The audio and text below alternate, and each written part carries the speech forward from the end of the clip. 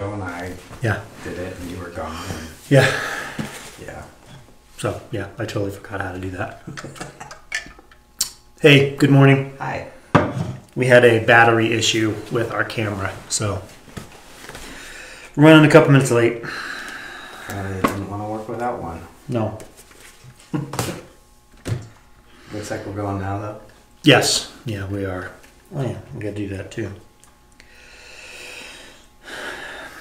Make this quiet just in case. Captions are auto-generated. That tells me. So that's good. So welcome to the middle of September, Tuesday Q and A, or just A.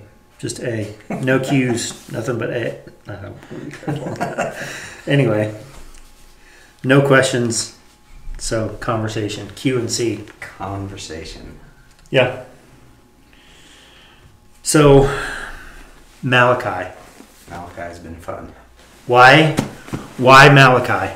Why? Why did you? Why did we pick Malachi? Hi, Shane.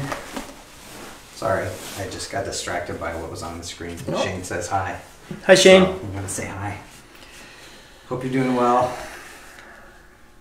I talked about you a little bit yesterday. Well, I referenced you. Not by name though, I didn't tell anybody it was that I was talking about. Maybe I did. I don't know. You just talked about him. So Malachi. Yeah. Why Malachi? Um, why Malachi? That might be something to ask God because he's the one that did it. He stuck it there. Um, yeah. I was, well, when Joe and I were talking about doing a series um, through this month, we were talking about, you know, different ideas of family ministry and um, next generation stuff. And I happened to be reading through Malachi at that time, and so it all kind of got smashed together. Mm-hmm. Um, and so Malachi is not necessarily a here's your instructions for reaching the next generation kind of book or anything like that, but it definitely says a lot to the world that we're living in today. Um, I think it has a lot to say with the way we we can tend to coast in our faith, and when we do that, we we pass on a weaker faith Mm-hmm. to the next generations. And so Malachi was really a challenge for me uh, that I wanted to share with people. Um, we need to take our faith seriously and live lives of integrity that match the faith that we claim if we are going to pass anything worth passing on to next generations. Uh, and that that isn't only a family thing.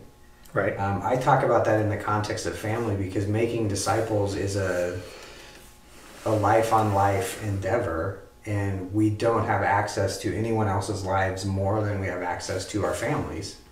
And so it starts there for sure, uh, but it definitely doesn't end there. Mhm. So, so that kind of led us into the book of Malachi, and uh, yeah, Joe will cover the last two chapters next week, and I went through the first two this week. I would say I kind of skimmed through because we didn't really dig into Yeah. a lot of. Yeah. There's a lot of pieces there that we could have uh, really sunk into, um, but that was our week, and so we wanted to get through the the bigger picture part of it. So So I have a question. So I'm going to do this to you. So I, you all said something a minute ago. Um, you said Malachi is not necessarily an instruction book about passing on the faith to the next generation. So, um, is the Bible is the Bible an instruction book? I think the Bible is an instructive book. Um, but like when Malachi sat down and shared what God told him to share, his intent was not a blow by blow, play by play. Here's how you reach the next generation. Mm-hmm. Um, actually his his account, like what he writes, really was more of a sort of a condemnation of the results of not Yeah. effectively passing on their faith to the next generation. And I would say, as far as the bigger picture of Scripture goes, it is definitely an instructive book, but very. There's a lower percentage of Scripture that was written with, like, we're sitting down to write out, here is how you. And when I think of instructional, I guess that's what I think of like if I'm going to read an instruction book, um, maybe the Bible is an instruction book because nobody reads instruction books. hmm Um, but if we think of an instruction book, we have like step one, step two, step three, step four, and then you have a bookshelf. Um, that's not what Scripture is, I don't think. I think Scripture is a lot of different types of literature brought together. Um, it's instructive in that if we pay attention to what all those different types of literature have to say, and we follow the instructions, we follow the teaching that is there, then I think we will learn and grow, and the outcome of that will be the life that God calls us to.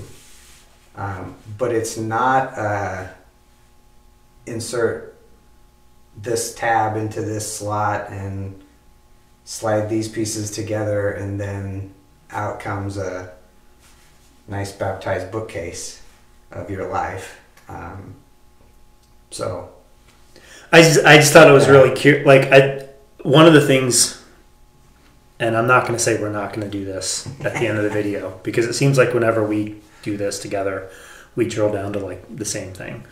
Um, but I mean, it's just it's just like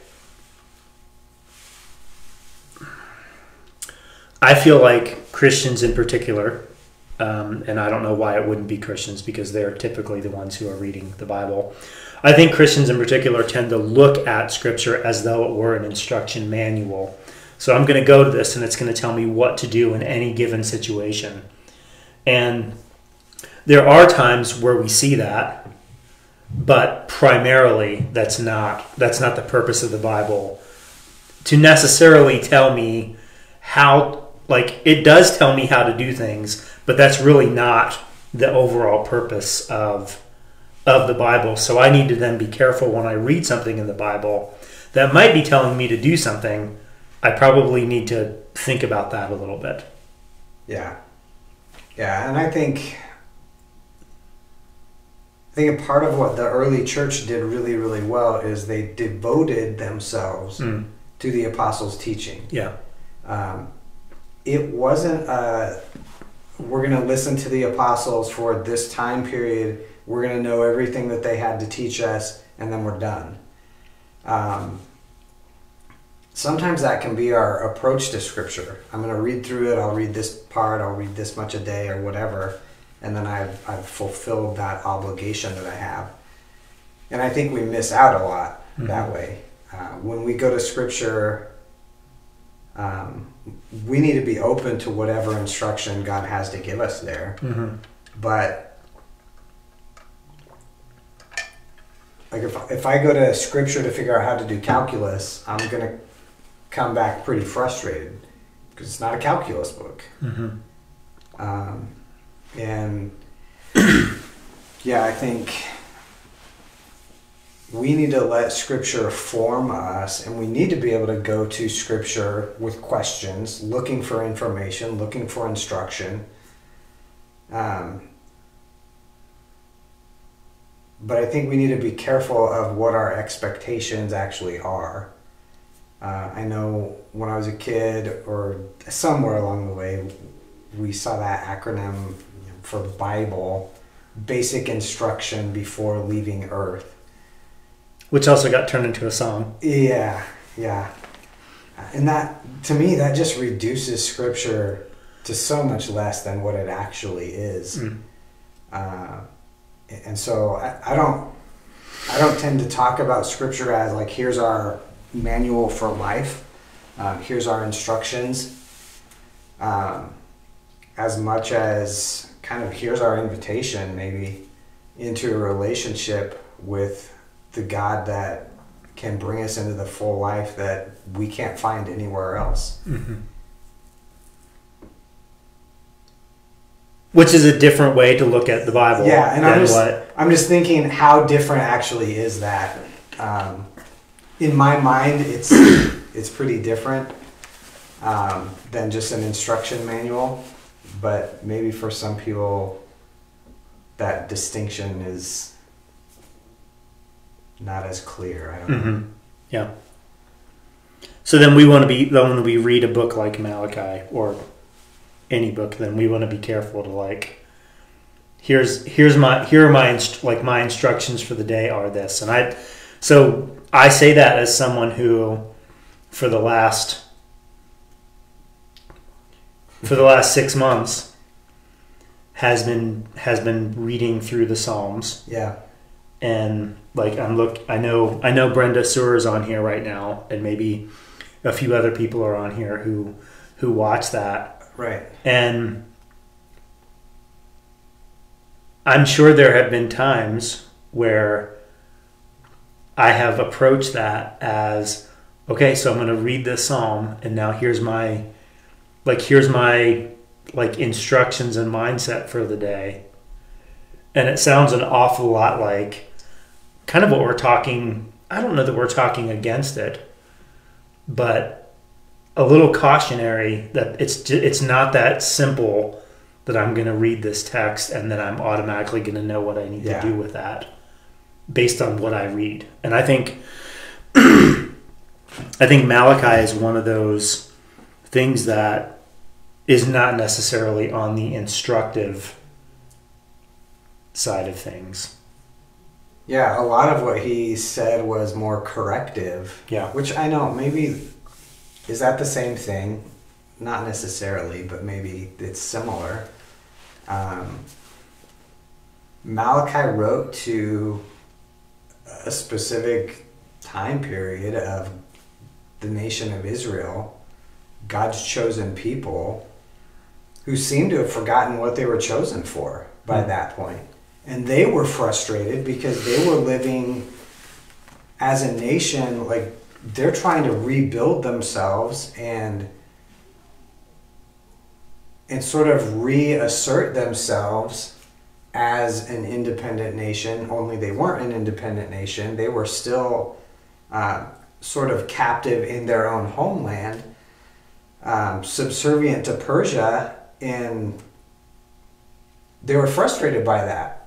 And so, like, where is our God? We rebuilt the temple, we Hmm. rebuilt the city of Jerusalem, but you know, like we heard the stories from our grandparents of like m- their grandparents with Moses. Um, you know, he built the tabernacle and the cloud came and filled it.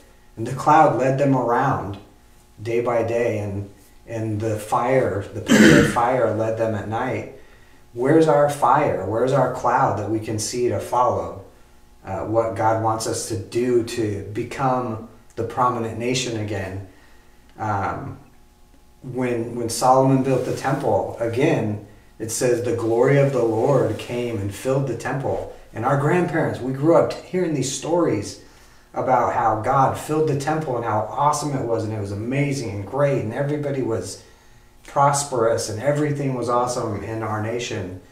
And it's not like that anymore. Why not? Where is our God now?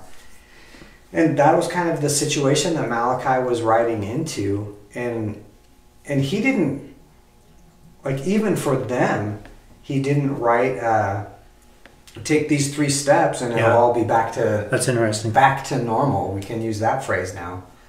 Um, The new normal. that's not where Malachi was heading. He was directing them towards something different. Uh, and, and Joe will get into a little bit more of that direction this week. But Malachi was saying, look, you're not you're not living by the covenant that God established. You're you're skirting the rules. You're offering garbage sacrifices instead of the best that you have to offer to God, why would he show up for that? Why would he appreciate that? You're not doing him any favors.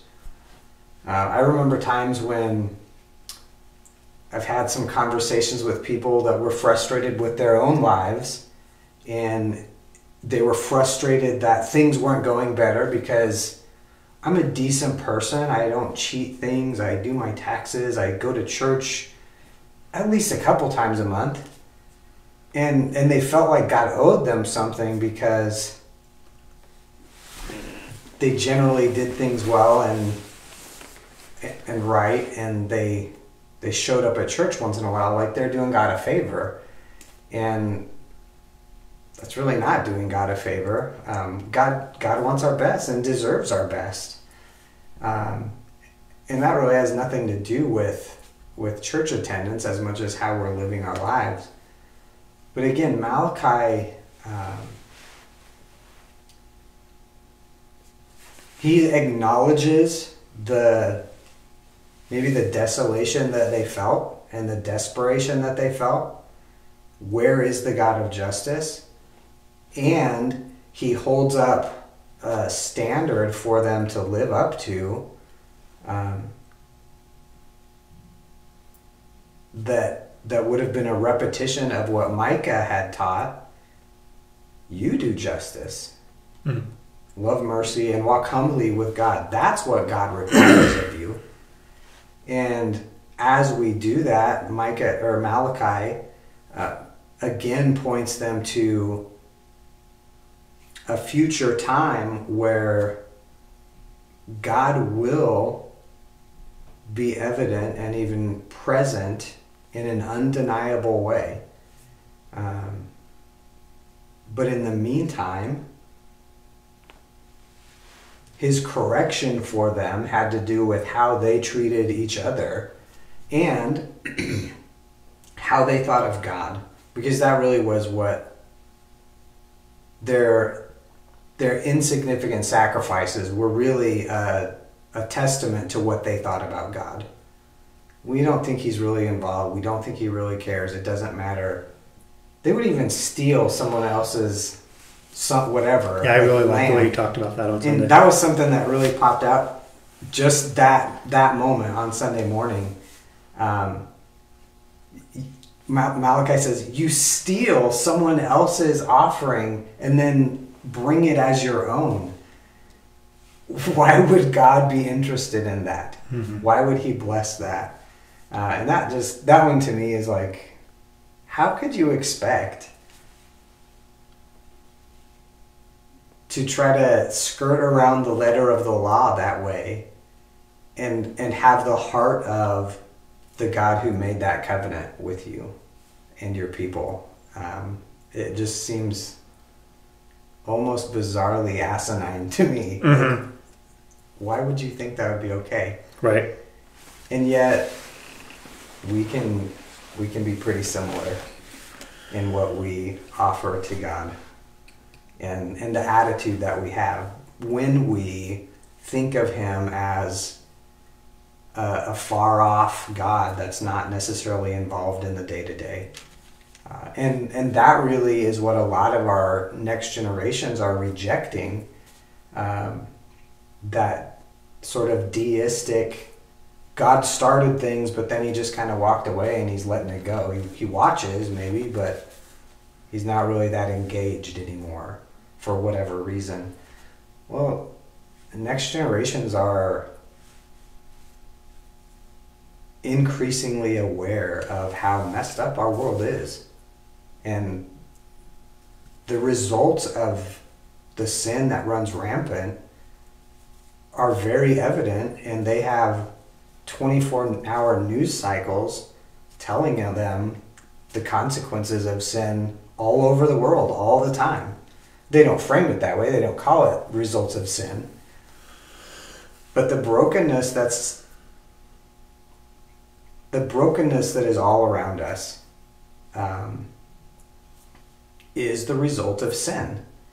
And when next generations encounter a church that is sort of marginally giving what they can um, conveniently to a God that they think of as, you know, the man upstairs that doesn't really interfere with all of us down here, they reject that. Guess what? I do too. Yeah. Um, I think they should reject that. But I also think that the church needs to provide a clearer picture, like Malachi did here, of who God really is and what he really deserves. That was quite a rant. You said, yeah, like you talked a little bit about you talked a little bit about the in, like the interaction between the people and God. Uh huh. So, for instance, but you ask, How have we shown contempt for your name? You've shown contempt by offering um, defiled sacrifices on my altar. Then you ask, How have we defiled the sacrifices? Like, I think, like, one of the things that I like about the way Malachi has has written this is you can hear those questions being asked by the people and I also wonder if they were asking it in that same way. Like you kind of likened it to, "Hey God, I go to church twice a month or what like Sure. like whatever that looks like."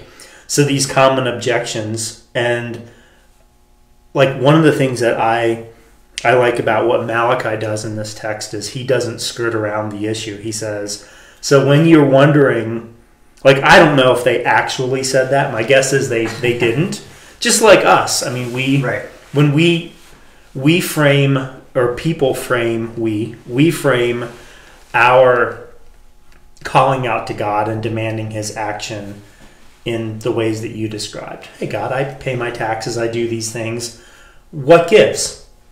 Yeah. And we wouldn't probably come out and say that, but that's Yeah. that's how we internalize it. Um, and then I also, when you were talking about how, you know, our the next generations are keenly aware of the brokenness. of- Like if you just look on Twitter, we are constantly told how crappy we are. Yeah.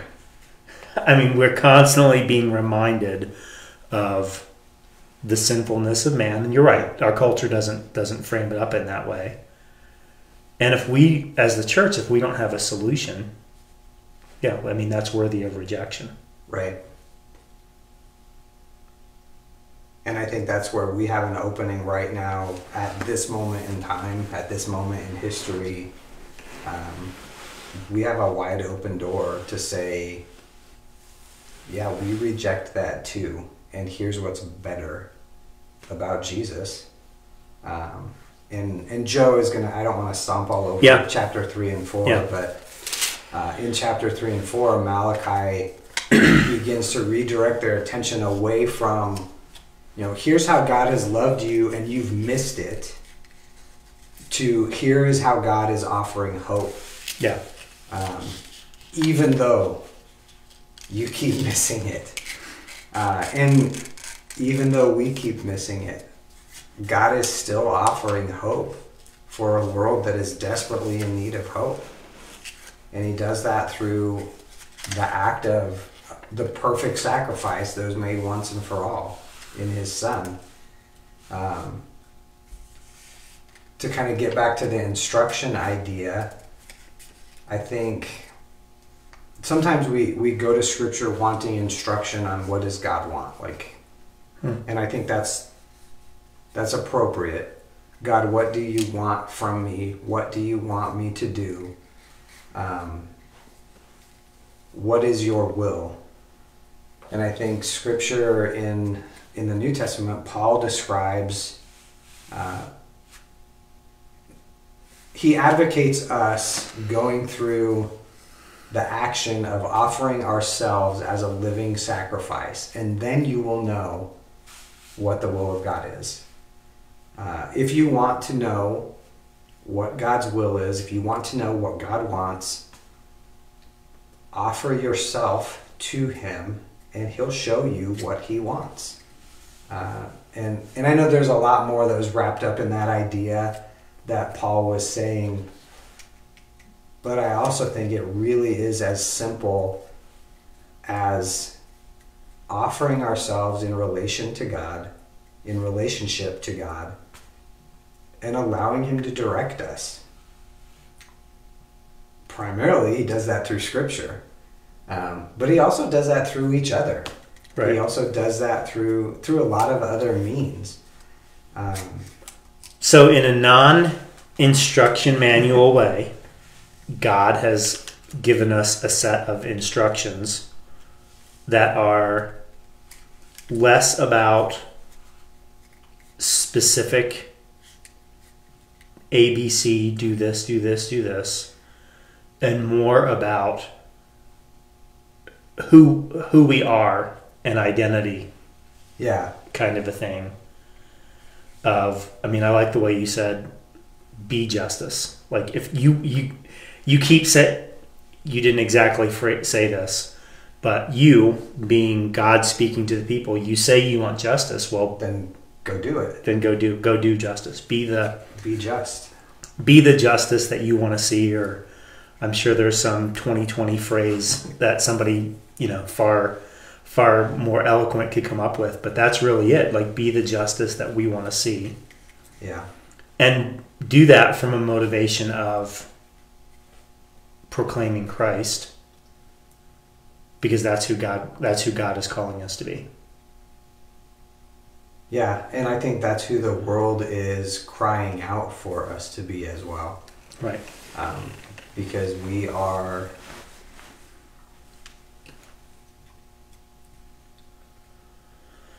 we are the means by which he is now reaching out to the nations. right Um, one of the things that we didn't really talk about here was how um, God is kind of coming down on them for how they have defiled and dishonored his name.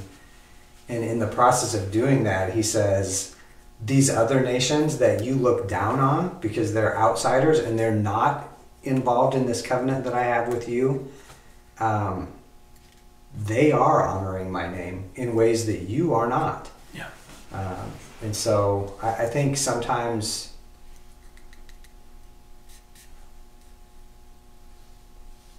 sometimes we we want to boil everything down to like we're the insiders doing what God wants and and everybody outside is always doing the opposite of what God wants.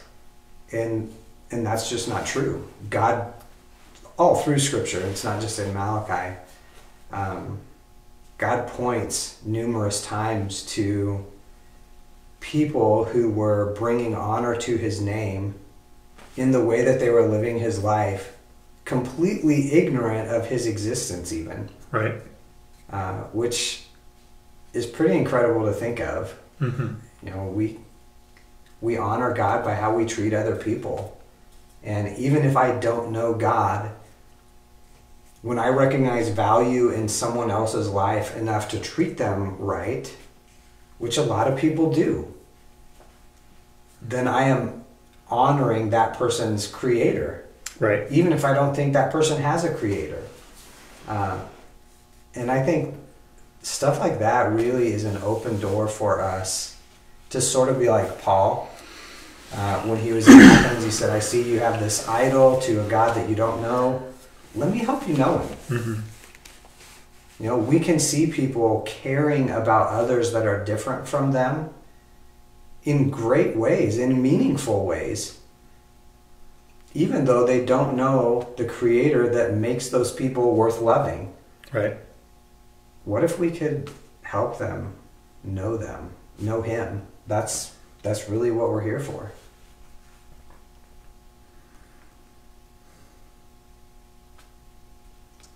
And we're those are the themes that we're going to be talking about next week as we finish out Malachi, Yeah. and we're going to be tugging on those threads in October and into November as we talk about entering as we talk about God. What is it like to be in God's kingdom for the for the election series that we're going to do? So you're gonna tug on the threads. I thought you were gonna yank on the chains.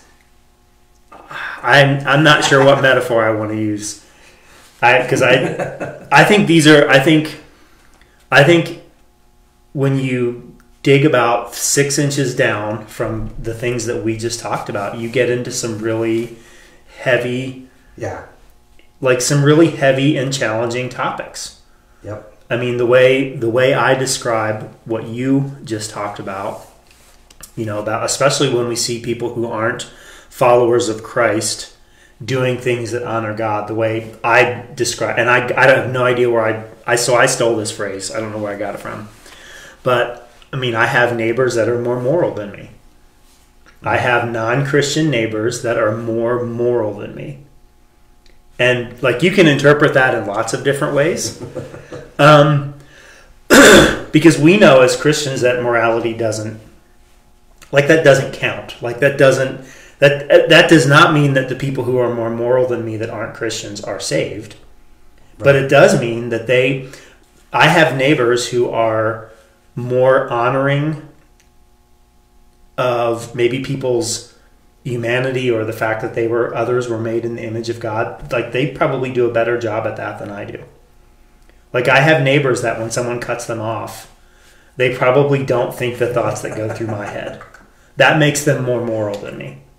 It doesn't make them justified, Right. but it makes them more moral than me, and that's a tough like that's a that's a theological conversation, and that's an uncomfortable conversation to have. Um, so yeah, so rip, yeah, not tugging, not gently tugging, probably grabbing and like, like I've done that before where I've grabbed and like if I had something. I remember I bought a pair of shoes one time, and um, and I'm still in the like I just paid for them, and I'm at the store and like the tag was through the shoelace, Uh, and I did something so dumb. I reached out and I grabbed the tag and I yanked it, and I completely like the shoelace just came undone. oops. I think that's what we're going to be doing during this season, during during our series on on politics. So I'll have to remember that metaphor, um, and just talking about that because there are some really uncomfortable things um, that that this political climate is causing us to deal with. Yeah, I think one of the great challenges that we have in our country is how do we love. And I think this was a subtitle of some book that you Yeah. posted something about. How do we love people that have different political opinions from ours? Right. Um, and I would say in the church and outside of the church, how do we love people that think differently than us? hmm So that'll be. I'm excited to hear how you go through that and pull those threads. Yeah, I'll be. I'll be. I'll say. I'll, I'll say I'll be gentle, but I'm not going to be. um, thanks for watching today. Um, we appreciate your time, giving up your time to interact with us, and we would really love to interact with you with questions.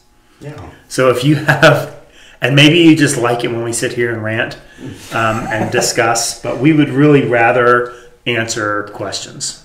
Um, Maybe they're afraid to ask questions because it takes half an hour without any questions. Right.